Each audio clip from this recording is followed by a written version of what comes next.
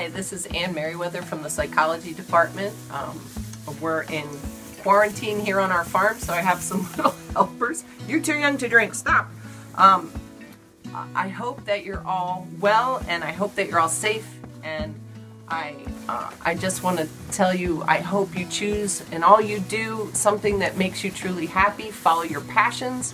Um, and also in this world, I think it's really important to be kind. So choose the path of kindness. Congratulations, class of 2020. Um, we're so proud of you. Say congratulations, guys.